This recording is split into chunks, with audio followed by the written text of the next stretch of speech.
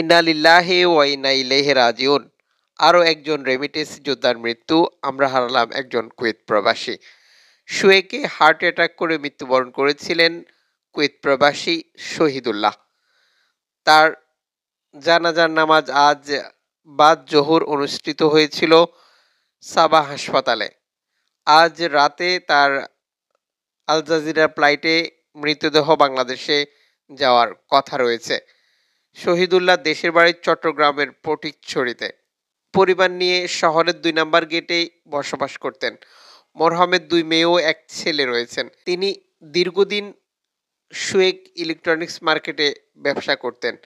আমরা তাহার বিদায়ী আত্মার মাগফেরাত কামনা করছি। আপনারা ভিডিওর সাথে যে পিকচারটি দেখতে পাচ্ছেন, যখন তার হাসপাতালে জানাজা অনুষ্ঠিত হয়েছিল, তখনকার উঠানো ছবি এটি। সম্মানিত কুইত প্রবাসী, আজ জুমাবার দিন, সম্মানিত কুইত প্রবাসী। হ্যালো রেমিটেন্স যোদ্ধা ভাই বোন যারা দেখছেন এই ভিডিওটি দেশ থেকে এবং কুয়েত থেকে।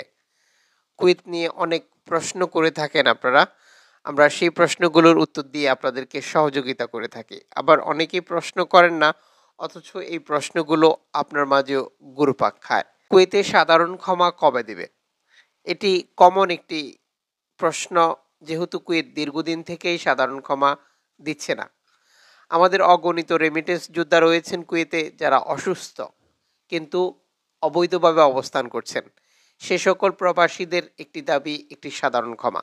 যদিও কুয়েতের সরকার সেই পথে না হেঁটে প্রতিদিনই অগণিত প্রবাসী আটক করছেন। এই পরিস্থিতিতে অনেক প্রবাসী বাই যেহেতু কুয়েতের সরকার সাধারণ ক্ষমা দিচ্ছে না অনেক প্রবাসী জরিমানা দিয়েও দেশে যেতে চাচ্ছেন। সেই সুযোগও পাওয়া যাচ্ছে না। তাদের প্রশ্ন, জরিমানা দিয়ে দেশে কীভাবে যাব? আবার অনেকেই প্রশ্ন করছেন যে, থানা বা কুয়েতের মকফরে ধরা দিয়ে দেশে যাওয়ার জন্য। সাম্প্রতিক সময় আমরা দেখেছি যে, আমাদের বেশ কয়েকজন প্রবাসী রেমিটেন্স যোদ্ধা কুয়েতের মকফরে গিয়ে দেশে যাওয়ার জন্য, ধরা দেওয়ার জন্য গিয়েছিল, কিন্তু পুলিশ তাদেরকে রাখেনি। তখন সেই প্রবাসীদের প্রশ্ন ছিল, আপনারা বলছেন প্রতিদিনই প্রবাসী আটক করা হচ্ছে, আবার বলছেন যে প্রবাসীদেরকে আটক করে দেশে পাঠিয়ে দেওয়া হচ্ছে, তাহলে আমরা মকফরে যাওয়ার পর আমাদেরকে কেন আটক করছে না? এই সবগুলো প্রশ্নের উত্তর হচ্ছে, এটি কুয়েতের সরকারের ব্যবস্থাপনার ব্যাপার, এখানে আমাদের কিছুই বলার নেই। তবে যারা জরিমানা দিয়ে দেশে যেতে ইচ্ছুক, আপনারা কুয়েতে অবস্থানরত বাংলাদেশের দূতাবাসের সহযোগিতা নিতে পারেন। আপনার সমস্যা নিয়ে আপনি দূতাবাসে গেলে তারা আপনাকে সঠিক তথ্য ইনফরমেশন দিয়ে সহযোগিতা করবে। থানায় ধরা দিয়ে যাওয়ার ব্যাপারটি আমরা একবারেই ক্লিয়ার না। যদিও একটা সময় আমরা জানতাম যে থানায় ধরা দিয়ে যাওয়া যেত। কিন্তু সাম্প্রতিক সময় আমরা দেখেছি যে অনেকেই থানায় গিয়ে ফিরে এসেছে। যাদের একান্তই প্রয়োজন, আপনারা বাংলাদেশ দূতাবাসের সহযোগিতা নিন। বাংলাদেশ দূতাবাসের মাধ্যমে আপনি দেশে যাওয়ার সুযোগ পাবেন। আর সাধারণ ক্ষমার ব্যাপারটি সম্পূর্ণ কুয়েত সরকারের ব্যাপার। প্রতিটি বছর শেষে আমাদের অনেক প্রবাসীর মনে একটি প্রশ্ন আসে বা একটা স্বপ্ন আসে, আর তা হচ্ছে সাধারণ ক্ষমা। যেহেতু নভেম্বর মাস চলছে, সামনে ডিসেম্বর মাস, অনেকে ভাবছেন যে বছরের প্রথমে কি একটি সাধারণ ক্ষমা দেবে? যদি কুয়েতের সরকার সাধারণ ক্ষমার কোনো সিদ্ধান্ত নেয়, অবশ্যই অবশ্যই আমরা আপনাদেরকে জানিয়ে দেব। তবে আমরা সকলের প্রতি অনুরোধ করব, সাম্প্রতিক সময় একটা ব্যাপার দেখছি।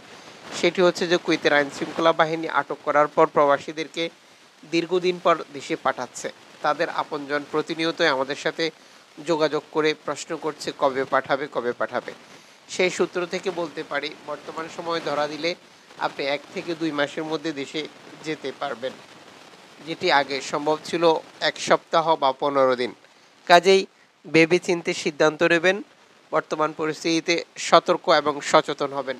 বিশেষ করে আকামাবিহীন ঘর থেকে বের হবেন না, আর যাদের আকামা নেই, তারা অতিরিক্ত বাইরে ঘোরাফেরা করা থেকেও বিরত থাকুন। গত সপ্তাহে কুয়েতের স্বরাষ্ট্র মন্ত্রণালয় ঘোষণা অনুযায়ী তিরিশ হাজার অবৈধ প্রবাসীকে চলতি বছরেই কুয়েতের সরকার বিভিন্ন স্থান থেকে আটক করেছে এবং দেশে পাঠিয়েছে। আশা করি সকলের জন্যই আজকের ভিডিওটির গুরুত্বপূর্ণ তথ্যগুলো কাজে লাগবে। যুক্ত থাকুন আমাদের সাথে ইউটিউবে যুক্ত থাকুন ফেসবুকে। দেখা হবে নতুন ভিডিওতে।